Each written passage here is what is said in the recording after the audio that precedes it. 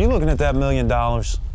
That's not your million dollars. It's somebody's, but it's not yours. That million dollars goes to the winners of the Heritage Place Futurity. Remember that. This horse race is for two-year-olds. Can your baby run 50 miles an hour? No, but these babies can.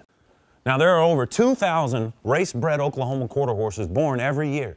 And when they have their first birthday party, somebody buys them.